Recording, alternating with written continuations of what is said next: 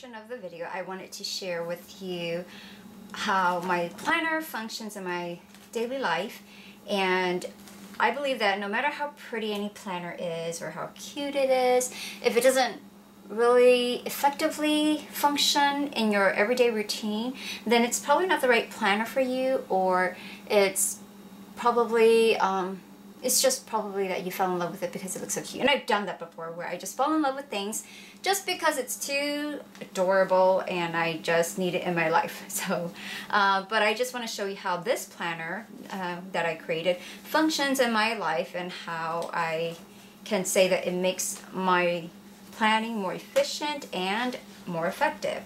So to start off, I just want to say that I'm more used to this daily setup where I'm writing things down and I can detail out my whole day and I even had planners before that were a day on two pages. It was not efficient for me to, for example, if I was working on invitations for a friend and it was going to take a period of two weeks, it was not efficient for me to say work on invitations. And the next day, move it over, work on invitations. And even though I can see that, you know, I as I flip through the pages, how many days I worked on the invitations, it's just not an effective use of my time to keep on repeating all my tasks over to the next day and the next day and the next day. It was redundant and repetitive, and I needed something better to track my um, projects that were more of a longer term basis instead of using a daily kind of calendar. So what I ended up doing was creating a weekly planner. I created this, customized it to my life, and there are two major components to my weekly planner that I want to share with you. The first thing is that many weekly planners take Saturday and Sunday and combine it into they condense it and combine it into a tiny little box that is smaller than any other boxes for any other day of the week. And that might work for some people, but it does not work for my lifestyle because I have four boys, a husband, and we just each have so many projects. So my weekends are just as busy or if not busier than any other day of the week. So I really needed that full space for my Sunday and Saturday and I needed it to be um, the same equal size as any other day of the week. So that was one reason why I created my own. Second reason was um, even though I did see that there were several planners that had equal spaces for Saturday and Sunday, the thing that I did not like about it was uh, specifically I was looking for the spiral binding, but then the ones that I've seen so far, it, it just didn't take full advantage of this uh, kind of binding system. And the reason being is that this binding system you can fold over.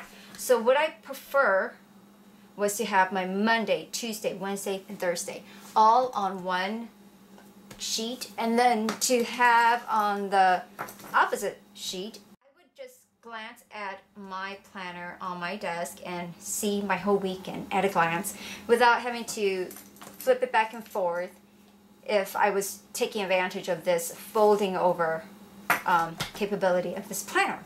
So let's say that if it was the other way where I've seen most planner um, to have their setup like, it's usually Monday, Tuesday, Wednesday, Thursday, and then Friday, Saturday, and then Sunday. So that means that your Saturday is over here and your Sunday is over here. And to me that just um, was something that even though it's easy to flip it over, I prefer if I didn't have to. It's just one less thing for me to do and it's just easier to just glance at one sheet instead of having to flip-flop my planner back and forth. So that was the second reason why I set it up this way. Now if you see this last box right here, it's just a jot some thoughts kind of box and that allows me to reflect on my entire week because I'm a firm believer of reflecting back on your day, uh, on your week, on your month. It allows you to absorb and make a summary of the day or a conclusion of the day, things that I've learned or things that impacted me or just little notes here and there, something that um, I can take away from life of that day or of that week. So here's my little jot, the, uh, jot some thoughts and I did it as a grid just so that I can doodle if I felt inspired to doodle instead of writing something down. Now I'm going to get to the really fun part. Well, I think it's fun because this is where the functionality of this planner is so dynamic for me. And I'm just going to flip us over to the monthly view. So I don't know why I don't just flip it over like this. I already marked my month. but this is the monthly view and I decided to go with the setup of having it go from Monday through Sunday just so I can have that one page view of my weekend like how it is with my weekly calendar. As far as the functionality, if you open it up this way, then I will have this full view of my month's focus and reflections and inspiration. And this just helps me stay in tune with um, whatever motivates me instead of being distracted by all the little to-dos. I can then gear toward gear all my little to-dos towards um, the main goal or the main objective for the month. So if you look closely here, I have where it says monthly goals, genius ideas, and a visionary mind daydreams often. And I believe in daydreaming because without daydreaming, you don't really have this vision of how you want and your life on the bottom section here, it's just a monthly reflection. What was good, what could have been better. Again, um, I'm a firm believer in reflecting back. And over here, we just have this la-di-da section on the bottom. Anything goes here and the inspiration box just so I can have a focus on my month's inspiration. And I really love this idea because I found this quote on Pinterest. It just says discipline is the bridge between goals and accomplishments. And um, I really try to base my everyday routine on this discipline method where I would get up and you know um, do my daily devotion and pray and then also just keep focused and not let things distract me. Like for example, I after writing down my inspiration, I wrote down my time hoggers and to identify them, and I figured, you know, um, I really need more discipline on Facebook. I can't be spending too long on it because it could just. It's not that I intend to spend long on it. It's just that it's a distraction that is there, and if it's the first thing I reach out and grab in the morning, then I might not me realize that an hour has gone by and I'm still on Facebook and it's not productive. So I just found this to be very um, healthy for myself to just have an inspiration board right here. So basically this entire view right here, I have my monthly calendar spread and then my goals, reflection, inspiration, and light. This is my monthly view and this is also my monthly view. And for this monthly view, I uh, remember how I was saying that most of my tasks in my current life requires more of a time frame over a few days or over a few weeks to track certain projects. So because most of my projects are like that, I decided to go ahead with a monthly task sheet.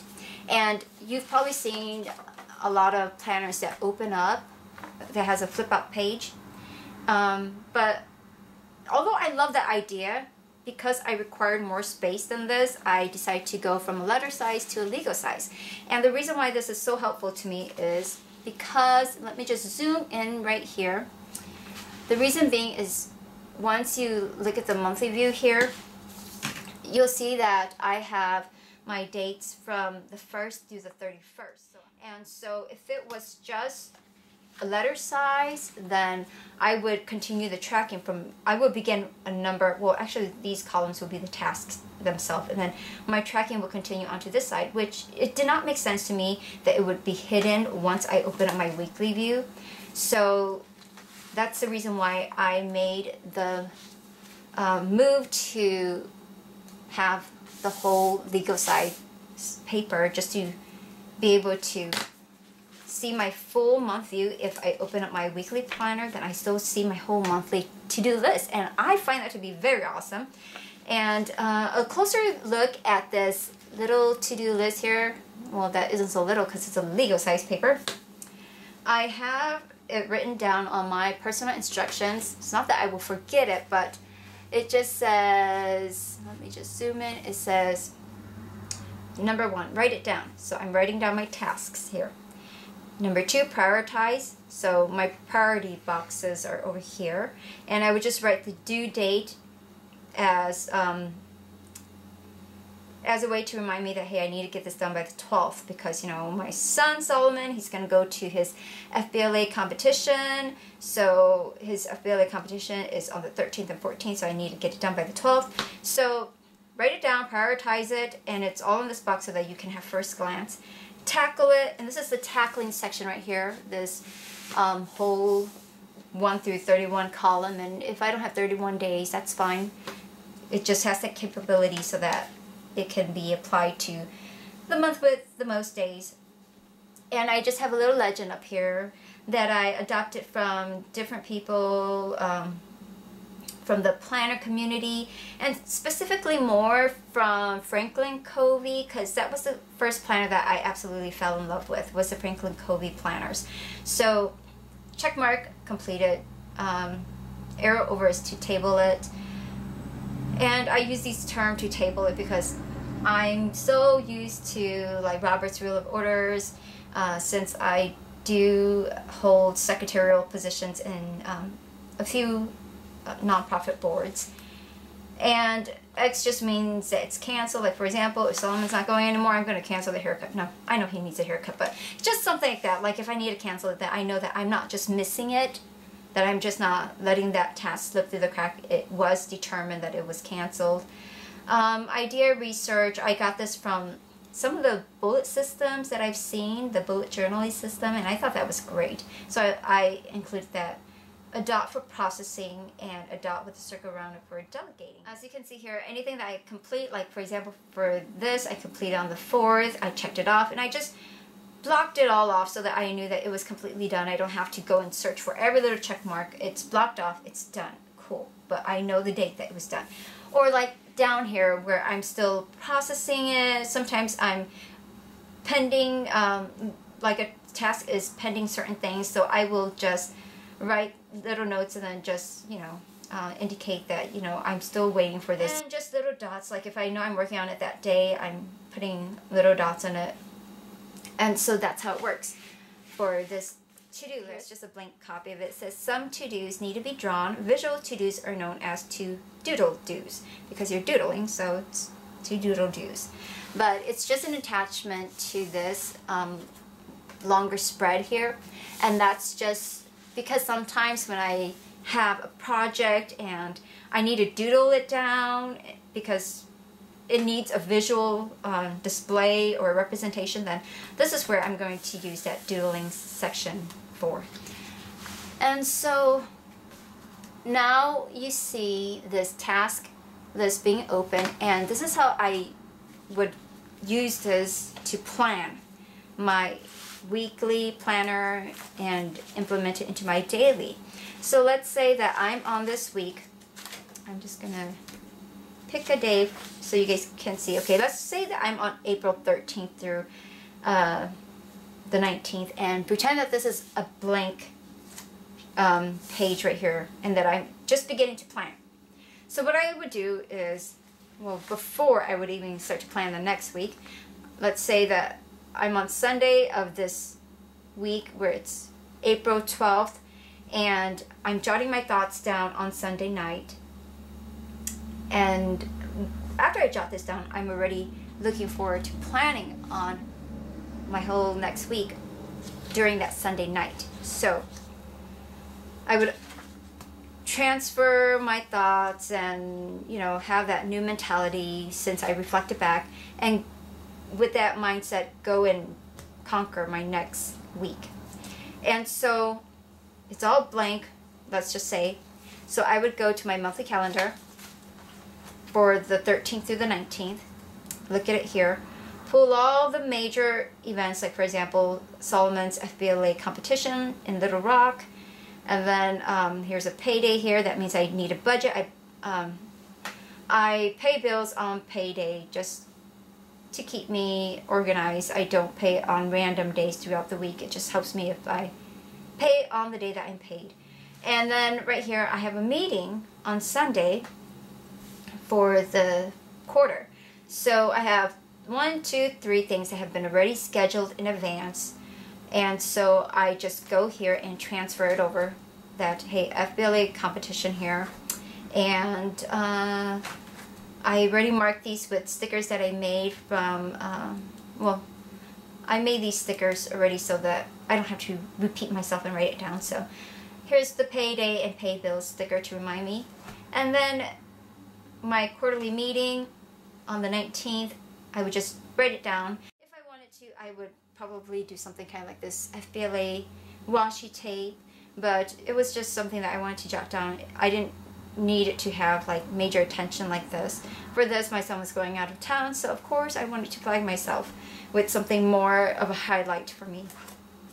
So basically, I would go from my monthly view, transfer the monthly large uh, the, the large events onto my weekly spread, and then I would go in and fill in the details. You will see that I have two columns here, and the reason why I have two columns is because sometimes I do have an appointment time like for example, six o'clock, you have to be here, Solomon.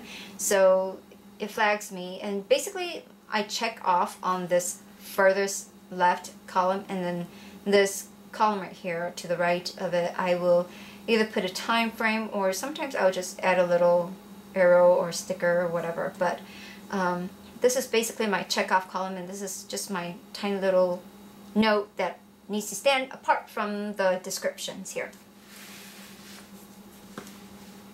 So let's just say that during my week, let's say that I really don't have anything planned for the week.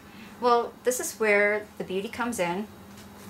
Remember that pull out task sheet? Well, I will pull it out and I'll be looking at it and I'll say, okay, you know what, I don't really have much on Wednesday.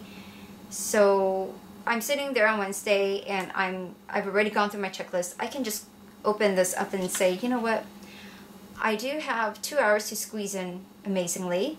So I think I'm to work on this project right here because this one I would probably need more than two hours to focus on to be more effective in it. So I will work on this project right here and um, I would track it here or sometimes if I'm looking at it at the beginning of the day and I realize that, you know, I'm going to have like a good four hours open and I want to be as productive as I can and tackle as many projects as I can, then I might find that, okay, you know, right here, I need to work on archiving all the old documents uh, for my finances. So I would block off one hour just to do that.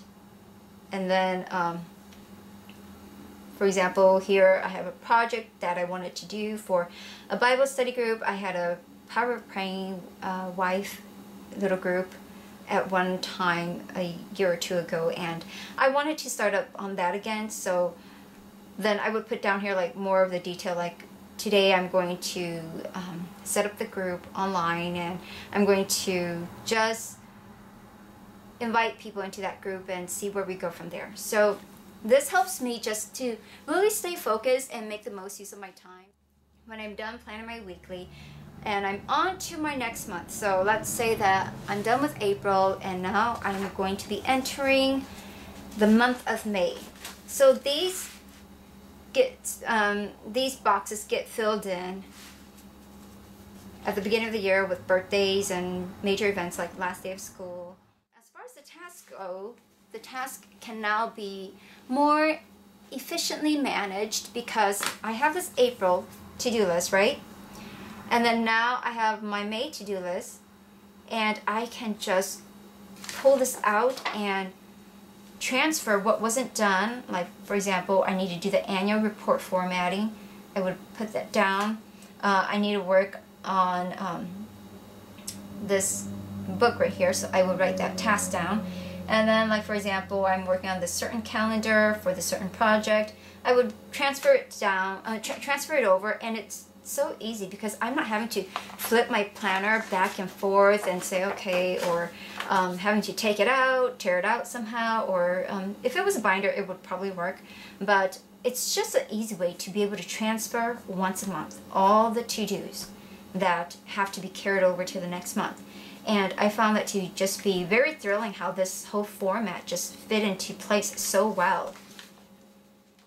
I want to show you this other view. Remember I told you that I have this yearly calendar over here? Okay, if you look at this, this is all grid paper and it's like for example, if me and my sisters, we have a great idea to go on a cruise next year. So I might just flip it over here and say, you know what, start thinking of cruises on my 2016 calendar. And this opens up all the way. It has 2015 on this side and 2016 on the opposite side. And I only needed 2015 to show when I open up my weekly calendar. I'm doing major planning, which is a little road trip with my sister. So the road trip is for next week, and I just have this pack of stickers here and this, you know, things to pack list here because I know I'm going to be working on that.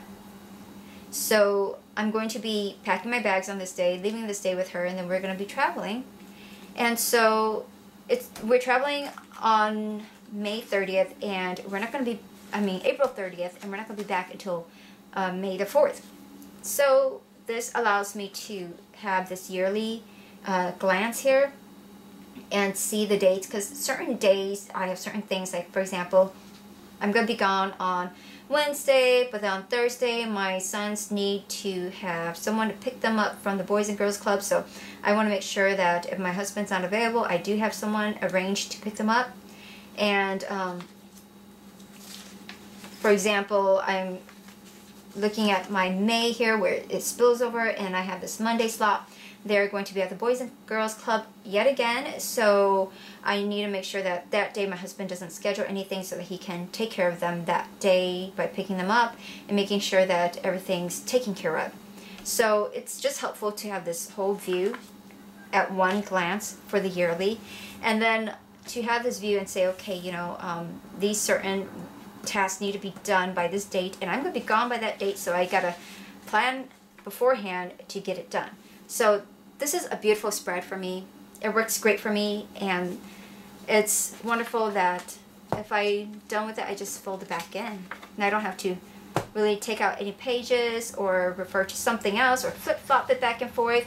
It's just an easy pull out and stick it back in. So that's why I love this planner. It just works so well for me. There's something that you found that was um, working for you, I would love to hear it as well because I believe we're always learning from one another and our planners will evolve as our lifestyles change. Um, I don't expect my planner to have the same formatting every single year.